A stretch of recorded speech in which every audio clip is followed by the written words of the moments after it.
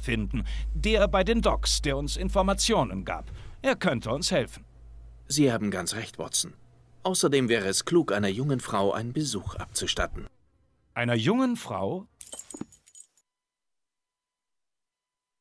Ja, damit herzlich willkommen zurück zu Sherlock Holmes.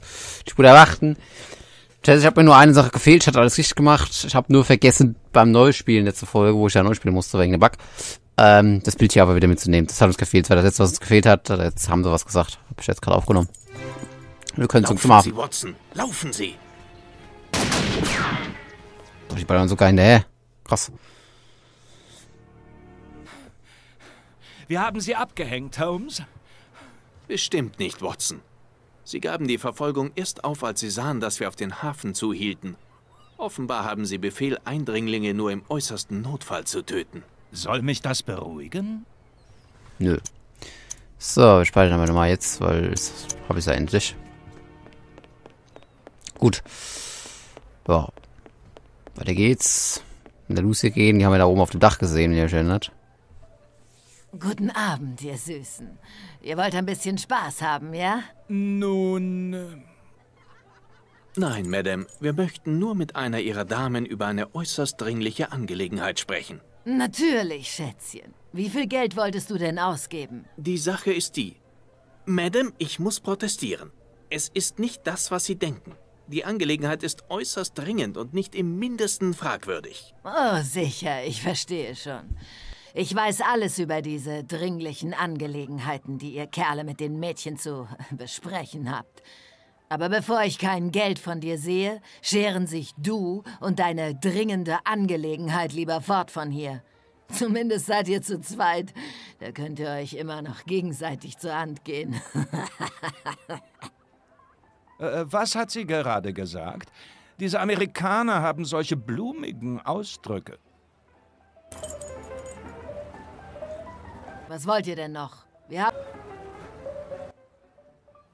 Guten Abend, ihr Süßen. Nun. äh, Nein, Madame, wir sind hier, um einer Ihrer Damen diesen Blumenstrauß zu geben. Sie wissen, von wem ich rede. Wir müssen ihr etwas sehr Wichtiges sagen.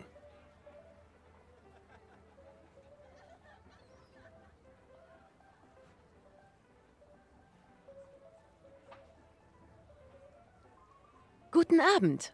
Haben Sie diese Blumen gebracht? Wer sind Sie? Was ist mit... Mr. Arneson? Wir wissen noch nicht genau, was mit dem Gentleman passiert ist. Aber wir sind hier, um es herauszufinden. Hören Sie, Miss. Lucy? Meine liebe Miss Lucy, mein Freund und ich sind extra aus England angereist. Sie haben uns heute Morgen vielleicht mit dem Sheriff zusammen gesehen. Arbeiten Sie für ihn? Nein. Tatsächlich verdächtigen wir ihn, unsere Ermittlungen zu behindern. Unser Fall hat entfernt mit Mr. Arneson zu tun, also sind wir zu seinem Haus gegangen, um mit ihm zu sprechen. Dort haben wir Beweise gefunden, dass er entführt und dass einer seiner Diener ermordet wurde. Entführt? Aber warum? Ich weiß es nicht, aber die Zeit läuft uns davon. Bitte erzählen Sie uns, was Sie über Mr. Arneson wissen. Und lassen Sie nichts aus, Miss Lucy. Selbst die unbedeutendste Tatsache könnte von großer Wichtigkeit sein. Er ist so ein netter Mann. Und er hatte versprochen, dass wir im Herbst heiraten. Kam vor etwa zwei Jahren nach New Orleans. Er ist Jäger und wollte nur ein paar Wochen bleiben. War hinter etwas in den Sümpfen her, weiß der Himmel was. Dann begegneten wir uns hier. Ich hatte gerade erst hier angefangen, wissen Sie? Madame sagte, sie würde mich nur gehen lassen, wenn all meine Schulden und eine Entschädigung für mich bezahlt würden. Vor ein paar Wochen sagte Errol, ich meine Mr. Arneson, dass sie die Lösung hätte. Vielleicht hatte er das Geld und wurde von Leuten entführt, die es darauf abgesehen hatten. Für die meisten hier in der Gegend wäre das ein kleines Vermögen. Und Sie wissen, wo er es versteckt haben könnte? Oh, das Geld ist mir egal. Wenn ich dafür Errol zurückbekomme, gebe ich es gerne her. Er hat mir einen Geheimraum im ersten Stock gezeigt. Er schießt mit einer Pistole, um ihn zu öffnen. Er sagt, dass nur ein guter Schütze das schafft. Hinter der Wand ist ein Schrank mit Waffen und einem kleinen Kästchen hinter einem großen Gewehr. Da ist sein Geld drin. Um die Schranktür zu öffnen, benutzt er den Siegelring, den er an der rechten Hand trägt. Aber wie kann Ihnen irgendwas davon helfen? Sie haben ja seinen Ring nicht. Sie haben uns mehr geholfen, als Sie glauben, Miss Lucy. Wenn Mr. Arneson noch am Leben ist, bringen wir ihn zu Ihnen zurück. Kommen Sie, Watson.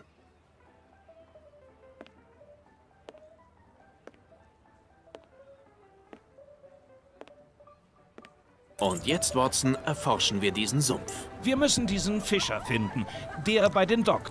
Ja, wissen wir doch. So. Champagner in der Hand. Bitte. Wird das hier die Kosten für ein Boot decken? Die wurden nicht richtig gelagert. Jetzt sind sie ganz warm. Dafür kriegen sie nur die Planken von dem Stapel da drüben. Und eine ihrer Laternen. Verkauft. Was haben Sie damit vor, Holmes? Wollen Sie ein Floß bauen? Statten wir diesem Arneson einen Besuch ab,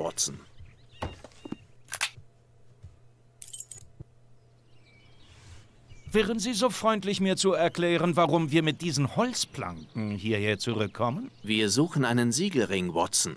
Und wie können uns diese Planken dabei helfen? Wir müssen die Hand wieder beschaffen, die ihn trägt. Also müssen wir eine Möglichkeit finden, ihren Finder anzulocken. Aber von wem reden Sie denn nur, Holmes? Das ist ziemlich klar, weil das so auffällig am Anfang war. Und der hat eine Hand verloren. Aber später sind kleine Räuber. Die Deswegen. Tatsachen sprechen für sich, Watson. Der Schlüssel, der Arnesons Schrank öffnet, ist der Siegelring, den er gewöhnlich an der rechten Hand trägt. Das war genau die Hand, die einer seiner Entführer abtrennte, während der arme Mann sich an dem Busch festhielt, den wir auf dem Weg zum Fluss sahen. Zufällig werden Waschbären von Aas angezogen und finden auch oft Gefallen an glänzenden Dingen. Ohne Zweifel hat sich einer mit unserer fehlenden Hand und ihrem Ring aus dem Staub gemacht. Ich habe Waschbärspuren in der Nähe gefunden und zweifellos haben sie ein Nest hier in der Gegend. Finden wir die Waschbären, finden wir auch unsere Hand. So wie Sie das sagen, erscheint es ganz offensichtlich, Holmes. Es ist die einfachste Sache der Welt. Aber jetzt müssen wir einen Köder auslegen, damit der kleine Kerl herauskommt und uns zu seiner Höhle führt. Ziemlich einfach. Das ist nämlich der tolle, hypnische Schinken, der so richtig gut mit Fliegen umfängt, dass äh, Holmes ihn am liebsten essen würde. Genau der. Ich werde das draußen hinlegen, um den kleinen Teufel anzulocken. So. Hier, na genau.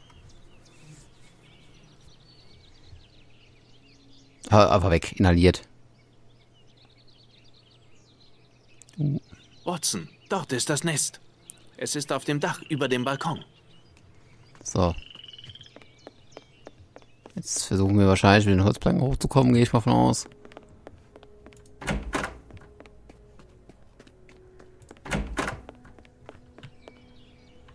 Mir fehlt etwas.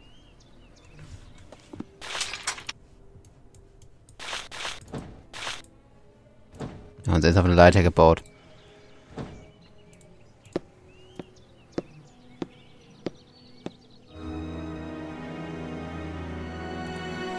Entschuldigen Sie, Madame, ich kam hier nur zufällig vorbei und wollte Sie nicht stören.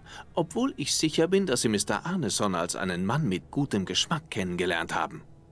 Lecker.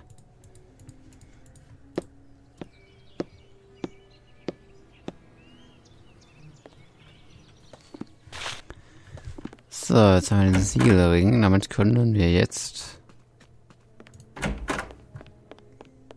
den Schrank öffnen, würde ich mal sagen, weil es passt einfach sehr gut. Das hier brauchen wir, um ein Boot zu kaufen. Was Geld. für eine herrliche Waffe. In der Und Tat. Munition. Sie wird im Sumpf von großem Nutzen sein. So, Watson, wir müssen die... ernsthaft jetzt.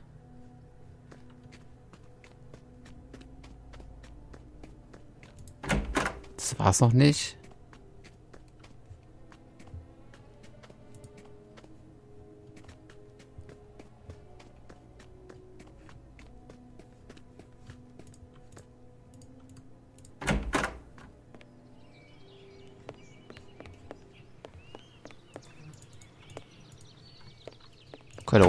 Alles.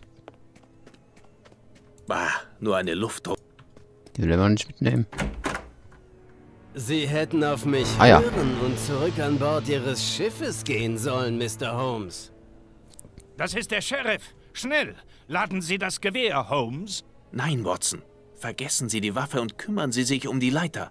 Und zwar schnell, bevor Sie herunterkommen. Meine hochkommen.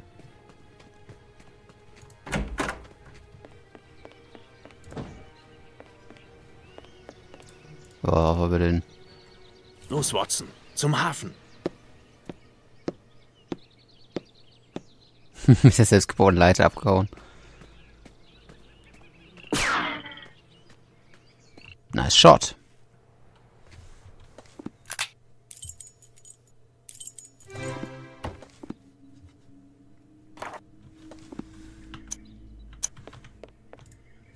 Ist das genug, um ein Boot zu kaufen, Sir? Aber sicher. Ausgezeichnet.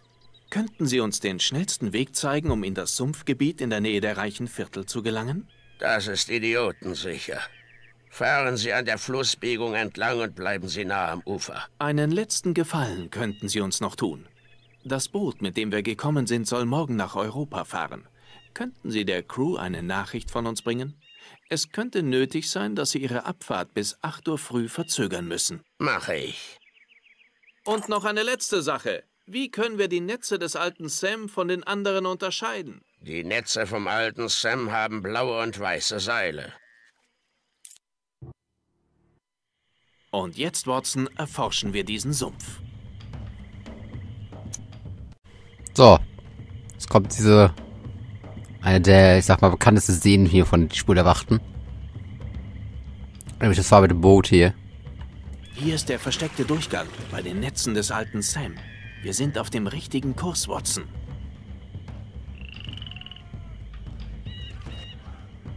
Im Sumpf, im Bayou und auch noch nachts.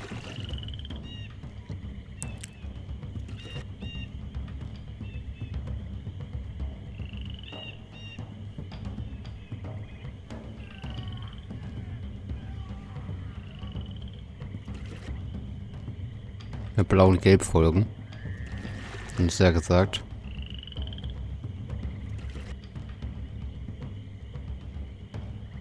Blut. Das hier ist nicht gerade beruhigend. Ja, blutiger Felsen. Da hängt jemand.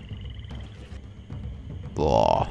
Genau, deswegen ist es der düsterste Holmes-Teil, also vom, von den Spielen. Was ist das nur für ein schrecklicher Ort, Holmes? Wo haben Sie uns hingebracht? In der Nähe des Ziels, Watson. In der Nähe des Ziels.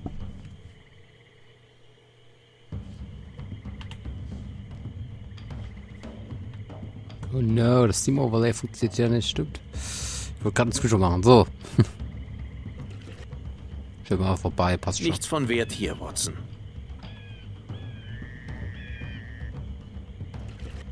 Sind doch Krokodile oder Alligatoren. Großer Gott, sehen Sie, dort im Wasser. Was für Monster. Nein, Watson. Es sind Krokodile und offensichtlich keine sehr gastfreundlichen. Mir fällt nichts Nützliches ein. Was machen wir jetzt, Holmes? Wir müssen sie mit einem verlockenden Happen von hier weglocken. Denken wir nach, Watson. Holmes, ich weiß nicht, wie man diese Kreaturen füttert. Und glauben Sie ja nicht, ich gehe ins Wasser.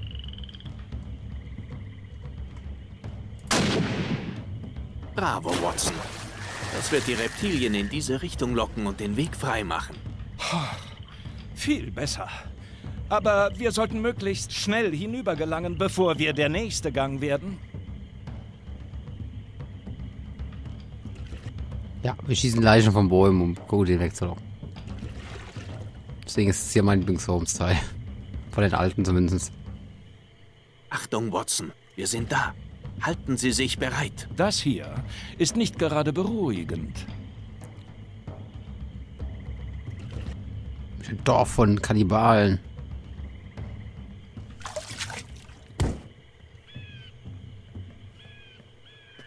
Watson, sehen Sie nach, was Sie für diesen armen Mann tun können. Sein Diener hat sich furchtbar an ihm gerecht, indem er ihn diesen Wilden überließ. Was die anderen angeht, ich fürchte, da kommen wir zu spät. Ich habe noch nicht alles untersucht. Jämmerliche blinde Narren! Wisst ihr denn nichts von der Ankunft des großen einen? In diesem Moment kommen seine Diener aus seinem ganzen Königreich und die Erleuchteten werden ihm ihr Fleisch geben. Alle werden da sein bei seinem Erwachen. Kämpft nicht gegen die Berufung. Bald wird er aufhören zu träumen und unsere Welt wird im Ganzen verschlungen. verneigt euch und sprecht das Dankgebet. Ihr seid die Nahrung seiner neuen Welt.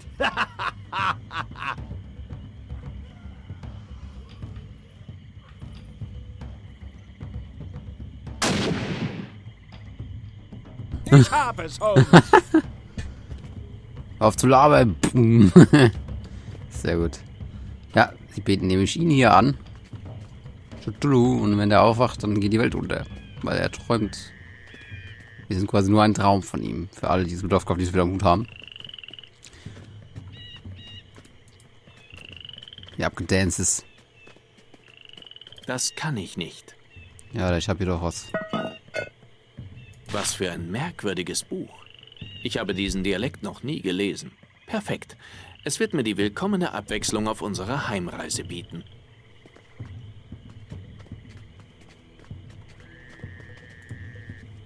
Holmes, helfen Sie mir dabei, ihn zum Boot zu tragen. Ich, kann wirklich nicht sagen, ob er die Rückreise überleben wird.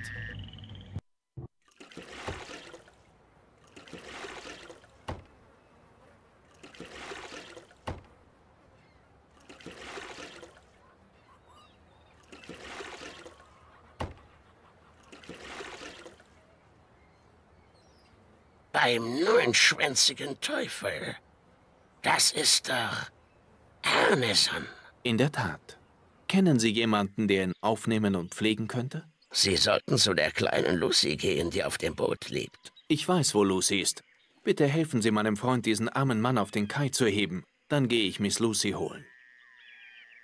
Was können wir für dich tun, Süßer? Madame, könnten Sie bitte Lucy ausrichten, dass wir Mr. Arneson gefunden haben? Und sagen Sie ihr, sie soll sich beeilen. Es könnte ihre letzte Chance sein, ihn lebend zu sehen. Lucy! Lucy! Ah, da bist du ja. Dieser Gentleman hat deinen Freund gefunden. Mein Gott! Ist das wahr? Na sicher, er sagt's doch selbst.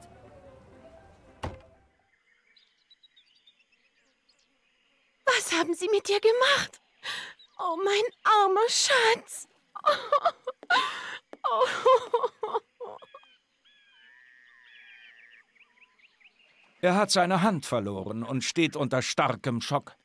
Aber mit Ruhe und liebevoller Pflege hat er gute Chancen, diese Verletzungen zu überleben. Oh, Madame, bitte. Wenn ich kurz etwas sagen dürfte. Wir haben dieses Geld gefunden. Eine große Summe, die Mr. Arneson gehört. Ich glaube, es wäre gerecht, sie Ihnen anzuvertrauen. Tja, dann scheint ja alles klar zu sein. Ich werde mich gut um dich kümmern. Du wirst sehen, mein Schatz. Wegen Arnesons Haus. Dort herrscht einige Unordnung. Wenn Sie so gut sein könnten und dort alles wieder in Ordnung bringen würden? Sie können auf den alten Champagne zählen. Wird alles erledigt. Ich sehe, unser Freund ist in guten Händen. Wir beeilen uns, lieber Watson. Unser Schiff trifft schon Vorkehrungen zum Auslaufen.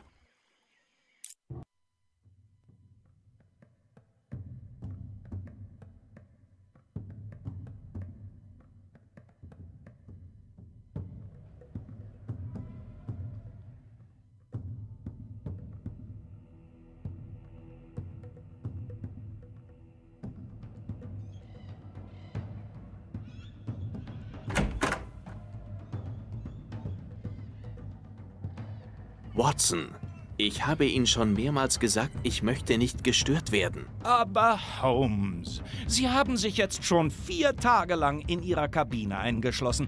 Draußen scheint die Sonne. Und der Wind vom Meer. Wenn Sie näher kommen, Watson, werfe ich Sie hinaus. Jetzt gehen Sie. Verdammt nochmal, Holmes. Mir ist langweilig. Ich ertrage die Unterhaltungen der Matrosen keine Minute länger. Wir haben eine Vereinbarung, Watson. Jeder nach seinen Fähigkeiten. Ich kümmere mich um die Übersetzung des Buches. Sie studieren die Zahlen, die unser junger Freund Davy gezeichnet hat. Jetzt machen Sie sich an Ihre Aufgabe und überlassen Sie mich meiner. Aber Sie wissen doch, dass solche Rätsel nicht meine Stärke sind. Hätten Sie nicht eine andere Aufgabe für mich, die meinen Fähigkeiten besser entspricht, Holmes? Hm, natürlich. Sie sind schließlich ein Mann des Wortes. Also gehen Sie wieder auf die Brücke, nehmen Sie Ihr bewährtes Notizbuch und redigieren Sie diese kleine Abhandlung. Einverstanden. Zu welchem Thema? Meine Monographie über die berechneten Flugbahnen von Möwenexkrementen. Guten Tag, Watson.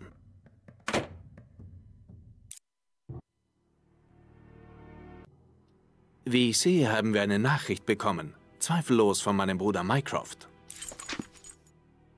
Ah ja, ging ganz schön ab hier. Lieber Sherlock, du hältst diesen Brief wahrscheinlich bei deiner Rückkehr aus Amerika. Deine Anweisungen für die Schweiz wurden exakt befolgt und du wirst dich über die Ergebnisse sicher freuen.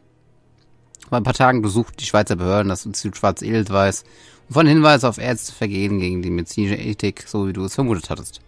Dr. Gigax wurde gefunden und festgenommen. Leider griff er, bevor man etwas erfahren konnte, zu drastischen Mitteln. Er trug eine kleine apolytische Dose Kali bei sich. Er schluckte sie, bevor man ihn aufhalten konnte und starb sofort. Seine Angestellten leugnen jedes Wissen über seine mörderischen Aktivitäten und die Hinweise deuten darauf hin, dass die Angestellte Flu seine Anweisungen ausführten. Von dem Hin- Hindi keine Spur. Aber dein Freund, Hauptkommissar Bilger, sagte mir, dass seine Männer während der Untersuchung eines uthetischen Geschosses des Instituts eine bespritzte Grube fanden. Zu diesem Raum was seltsames etwas Lachen, das direkt von der Gut der eben genannten Grube zu kommen schien. Der Hauptkommissar und ich glauben, dies könnte das Schreien der Patienten gewesen sein, die im Hof der Anstalt versammelt waren. Er meint, das Ger- Geräusch wäre durch seltene akustische Verhältnisse abgelenkt worden und scheint deshalb aus dem dreckigen Loch zu kommen. Diese schließe ich mich an und erzähle dir alles nur, damit du wirklich alle Fakten kennst. Du solltest auch wissen, dass der beängstigende Raum seitdem versiegelt wurde. Obwohl ein Großteil von Dr. Gigas Unterlagen vor dem Eintreffen der Schweizer Polizei zerstört wurde, haben es ein paar Rechnungen überstanden. Diese stimmt mit einigen verdächtigen Transaktionen überein. Auch die berühmte Diskretion der Schweizer Banken kennt ihre Grenzen. Was ich erfahren habe, klingt zwar abstrus, aber wahrscheinlich. Es sieht so aus, als habe Dr. Gigax seine Hand auf einen großen Teil, wenn nicht sogar auf den ganzen Schatz von Lord Rochester gehabt. Nun erinnerst dich vermutlich, dass Lord Rochester, der bekannte Londoner Milliardär, eine amerikanische Frau heiratete. Sie hatten nur ein Kind, einen Jungen namens Archibald. Nachdem der Junge seine Erziehung abgeschlossen und die Volljährigkeit erreicht hatte, rei- reiste er nach Osten, um die Interessen seines Vaters zu vertreten. Neben seinen Besitzungen in England unterhielt Lord Rochester eine Edelsteinmine in Indien. Nach zwei Jahren hatte Archibald ein Vermögen an Edelsteinen in höchster Qualität angehäuft. Die schönsten darunter kamen in eine Truhe, die er auf ein Schiff nach England mitnahm. Dann wandte sich das Schicksal gegen ihn. Weder er noch die Edelsteine erblickten je der Land, ein furchtbarer Sturm versenkte das Schiff in der Nähe der indischen Küste. Nur wenige Mitglieder des Mannschaft, der Mannschaft überlebten. Die Leichen der anderen wurden aus dem Meer gezogen, mit einer Ausnahme. Man fand keine Spur von Archibald und seiner Truhe. Und die Tragödie nahm einen noch größeren Ausmaß an. Die Nachricht traf Lord Rochester schwer, er verstarb bald darauf. Lady Rochester kehrte gramgebeugt zu ihrer Familie am Posten zurück. Auch sie starb kurz darauf. Diese einst edle Familie ist nun ausgelöscht.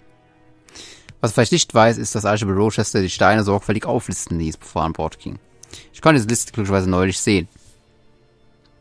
Wenn ich mir die besonderen Kennzeichen so ansehe, kann ich mit absoluter Sicherheit sagen, dass einige der Steine, die eigentlich tief aus dem Grund des Indischen Ozeans schlummern sollten, mitten in der Schweizer, Alpe, Schweizer Alpen wieder aufgetaucht sind. Ich konnte leider noch nicht herausfinden, was Almus Colby, den Angestellten auf Northwood, Northwood in diese Gegend führte. Aber vielleicht weißt du mehr darüber, als ich erfahren darf. Liebe Grüße, Mycroft. Merkwürdig. Hier, lesen Sie das, Watson. In der Tat. Aber der Besitz eines solchen Schatzes ist für sich doch Ziel genug. Warum zum Teufel noch diese ausgefeilte Maskerade? Geld ist oft das Motiv für die niedersten Taten. Aber nicht in diesem Fall. Das sind in der Tat tiefe Wasser, Watson. Diese Leute folgen einem anderen dunklen Ziel.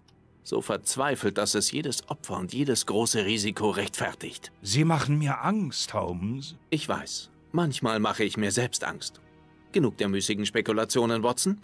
Ich bat Sie, die Zahlen zu studieren, die der junge Davy gezeichnet hat. Zweifellos handelt es sich um einen Code. Was haben Sie herausgefunden? Nein, oder? Ihr wollt mich das nicht verarschen, wir müssen es selber lösen.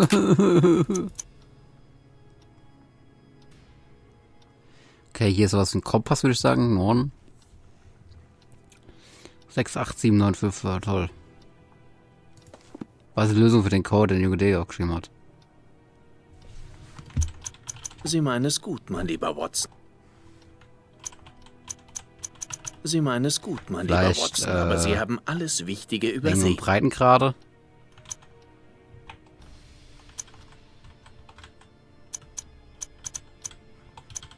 Sie meinen es gut, mein lieber Watson, aber Sie haben alles Wichtige übersehen. Sie meinen es gut, mein lieber Watson, Ich habe keine Ahnung.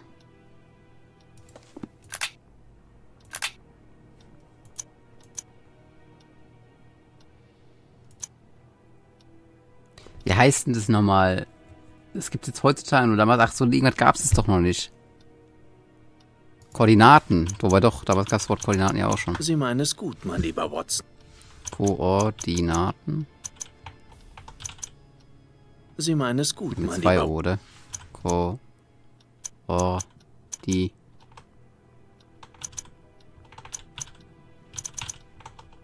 Sie meinen es gut, mein Lieber. Nee, ich überlege mal ein bisschen, Leute. Wir sind uns gleich wieder.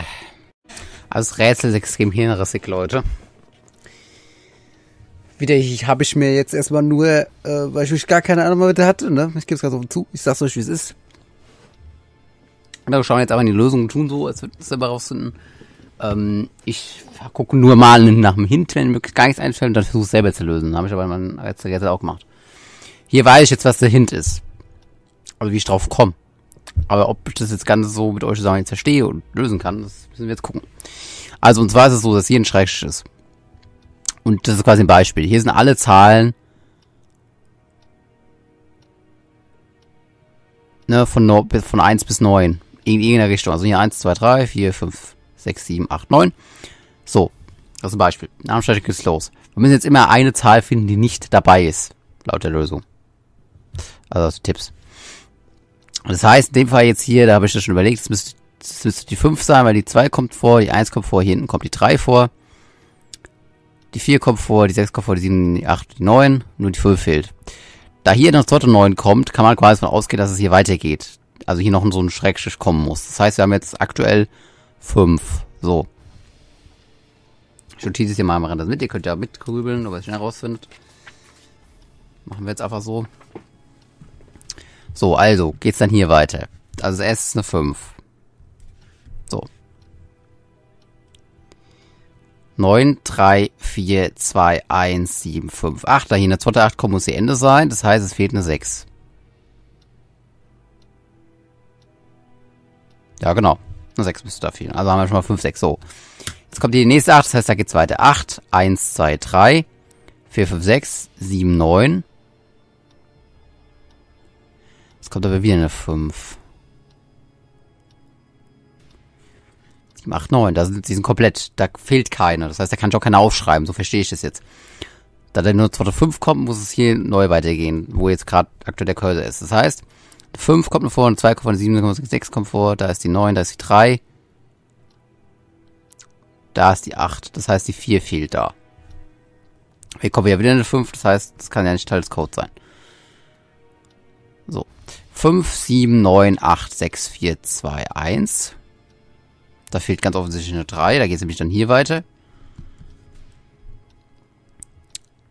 Weil hier eine Zotte, 1, ko- äh, Zotte 2 kommt. 1, 2, 3, 4, 5, 6 es fehlt, genau. So, da haben wir die erste Hälfte. Die erste Hälfte ist 5, 6, 4, 3, 6, würde ich jetzt sagen. So, jetzt kommt die Zotte. Ich gehe mal davon aus, dass es getrennt ist, weil hier halt nichts mehr ist. So, also 5, 9, 7, 2, 4, 6, 8, 1, 6, 1, 3, 3. 1, 2, 3, 4, 5, 6, 7, 8, 9. Das sind alle Zahlen, das heißt, es geht gleich hier weiter. 3, 7, 5, 8, 9, 2, 1, 4, 8. Das heißt, bei der 8 ist Schluss. Da fehlt dann die 7. Nee, die 6 fehlt. Ja. Also zur Hälfte fangen wir mit der 6 an. Dann kommt hier eine weitere 8. Das heißt, hier geht's weiter. An der Stelle. 8, 2, 9, 7. Da kommt die 3, da kommt die 4, da kommt die 5, da kommt die 6.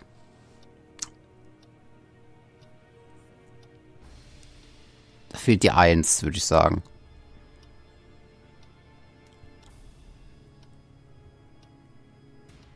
Ja, da fehlt die 1. Weil hier geht's dann weiter. Bei der Sorte 9. 9, 6, 7, 5, 2, 4, 8, 1, 9.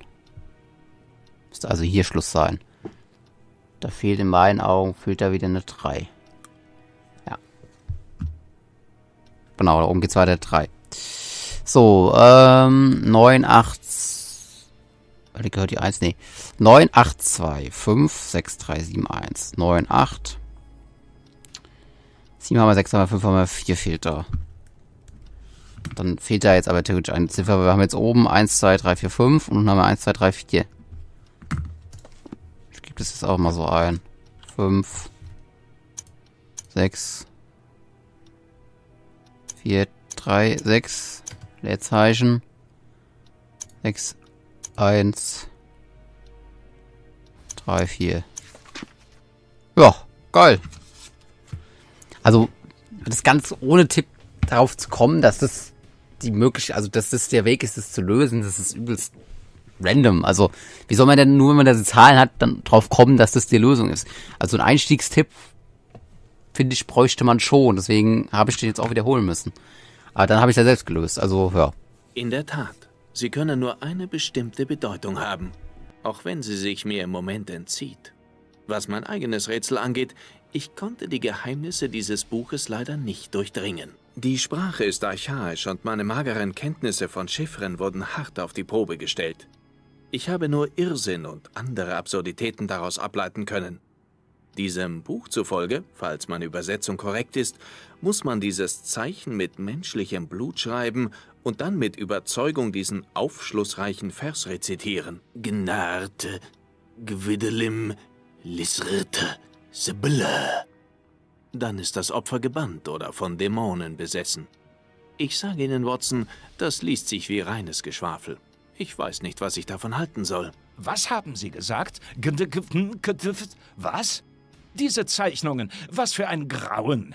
Ich sage Ihnen, Holmes, dieses Buch bereitet mir großes Unbehagen, wie fast alles im Zusammenhang mit dieser Angelegenheit. Mir ist gerade etwas eingefallen, Watson.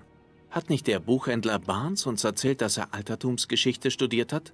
Vielleicht könnte er uns bei der Übersetzung dieses Buches helfen. Wir müssen bessere Köpfe suchen, denn wir kommen hier nicht weiter. Ich habe nicht die geringste Ahnung, wo Sie diese Leute hingebracht haben könnten und welche Konsequenzen Sie erwarten. Kommen Sie. Wir wollen sehen, ob Barnes uns vielleicht helfen kann.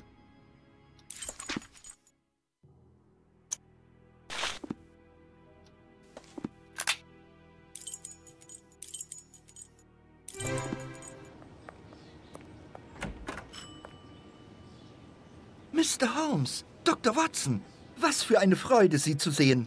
Wo waren Sie denn nur?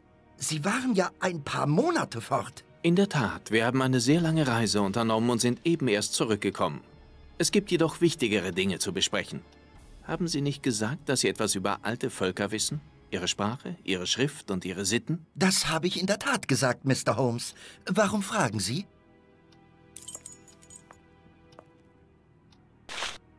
Sie sind genau der Mann, den wir brauchen. Mir ist auf unseren Reisen dieser esoterische Text in die Hände gefallen und ich habe mich gefragt, ob... Stimmt etwas nicht, Barnes? Mr. Holmes, wo haben Sie das her? Dieses Buch. Ein echtes Museumsstück. Wenn Sie so gut sein könnten, einige dieser Fragmente für mich zu übersetzen, stünde ich tief in Ihrer Schuld.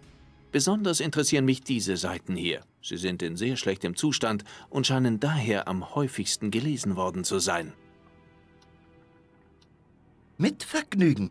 Ich werde mich sofort an die Arbeit machen und Sie über meinen Fortschritt auf dem Laufenden halten. Ob das so gut ist, dass er sich mit dem Buch befasst, die andere Frage. Denn kann er von Lovecraft wissen, wahrscheinlich, welches Buch es sich handelt. Oder zumindest eine Anspielung darauf. Und alle wissen, was passiert, wenn man sich mit näher mit diesem Buch befasst oder das liest. Die wahren Worte. Glauben Sie mir, dieses Buch enthält ein... Aber ich glaube, dass Barnes das nicht so gut äh, bekommen wird, sagen wir mal so. Das ist mein persönliches Empfinden als Lovecraft-Kenner. So. Ich würde aber sagen, Leute, wir beenden hier die Folge. Ich danke euch fürs Zusehen und bis zum nächsten Mal. Macht's gut. Ciao, ciao.